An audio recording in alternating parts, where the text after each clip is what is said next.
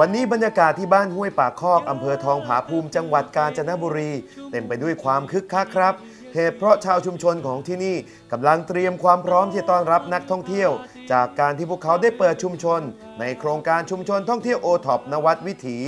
หมู่บ้านที่เคยเป็นแค่ทางผ่าน และเคยเงียบเหงา ก็จะไม่ใช่ทางผ่านอีกต่อไปนะครับ ส่วนที่นี่จะมีอะไรดี ต้องตามผมมาเลยครับ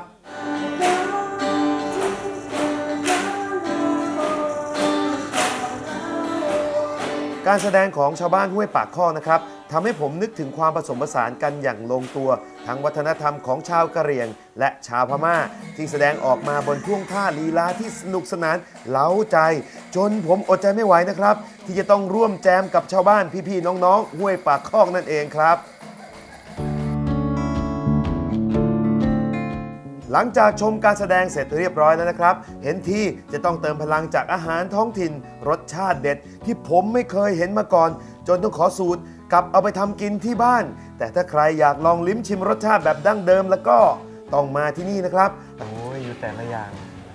ครับว่าครับ ท้องร้องไปหมดแล้วครับผู้ใหญ่มีอะไรบ้างเอ่ย อ๋อนี่ต้องขอบอกแนะนำเลย อันนี้จะเป็นหมูนุ่งสิ้นครับหมูนุ่งสิ้นอะครับอาหารของชนพื้นถิ่นแถวนี้ ครับ แล้วต่อไปก็จะเป็น แกงบอลหมูกรอบแกงบอลครับห่อหมกไม้ไผ่ครับโอ้นะครับอันนี้จะเป็นหมูส้มครับหมูส้มครับหมูส้มรสชาติมันจะต้องเปรี้ยวไหมก็ก็มันจะมีเปรี้ยวๆนิดๆครับผมเพราะมันจะกินคู่กับพริกสด หรือว่าพริกทอดอืมเนี่ยใช่มันจะครับเข้ากันได้ดีโอ้โหนะครับได้ดีมากมาที่คตบรงนี้นะนี่อันนี่ก็เป็นอะไรอ่ยน้ำน้ำพริกปีชอครับซึ่งขึ้นชื่อที่นี่มากเลยขออีกทีนะครับน้ำพริกน้ำน้ำน้ำพริกปีชอ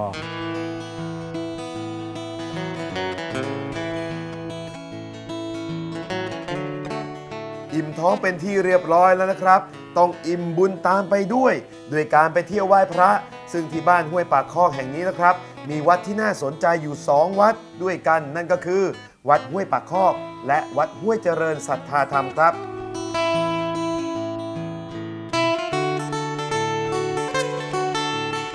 ซึ่งนอกจากเราจะได้ชมวัดสวยๆแล้ว วิวที่นี่ก็งดงามไม่แพ้ที่อื่นเลยนะครับ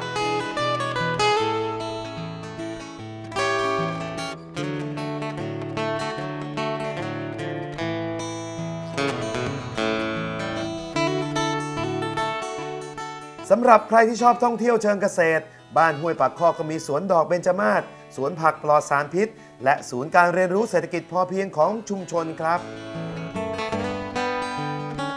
สวนขาลุยก็ไม่ต้องกังวลเลยนะครับ เพราะที่นี่มีแหล่งท่องเที่ยวทางธรรมชาติมากมาย ไม่ว่าจะเป็นโป่งน้ำร้อน สุสานช้าง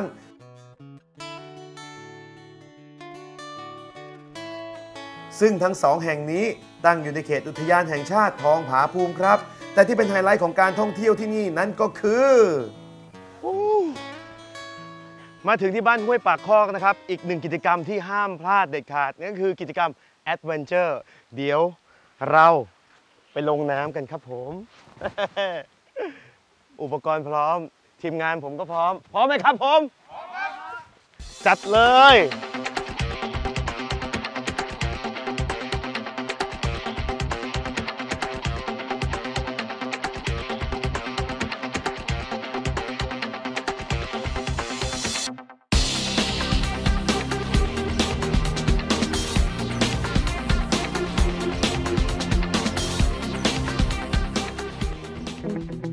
หลังจากล่องแก่งกันชุ่มฉ่ำแล้วนะครับ ตรงจุดที่ขึ้นแพก็มีตลาดนัดชุมชนให้เลือกซื้อเลือกหามากมาย ทั้งผลิตภัณฑ์สุดยอดโอท็อปไม่ว่าจะเป็นเครื่องจักสารเสื้อไหมพรม พวงกุญแจ หน่อไม้ดอง หมูส้มกล้วยฉาบ ตลอดจนผัก และผลไม้ที่นำออกมาจำหน่ายสดๆ จากในสวน ส่วนใครที่อยากจะพักผ่อนริมแม่น้ำก็ไม่ผิดกติกาแต่อย่างใดนะครับ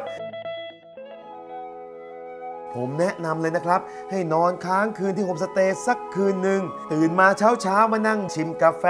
สดๆ แกล้มกับบรรยากาศสวยๆ แบบนี้ มีความสุขไม่น้อยเลยทีเดียวครับ ไม่น่าเชื่อเลยนะครับ ว่าบ้านห้วยปากคอก ทางผ่านที่หลายคนมองข้าม จะมีกิจกรรมและแหล่งท่องเที่ยวชุมชน มากมายขนาดนี้ เอาเป็นว่าถ้าใครมีเวลา และอยากเปลี่ยนบรรยากาศสนุกสนานไปกับวิถีแห่งวัฒนธรรม ดื่มด่ำกับธรรมชาติที่บริสุทธิ์ และหยุดเวลาไปกับสายน้ำแบบผมแล้วล่ะก็แนะนำเลยครับ บ้านห้วยปากคอกอำเภอทองผาภูมิ จังหวัดกาญจนบุรี แล้วคุณจะหลงรักที่นี่ครับ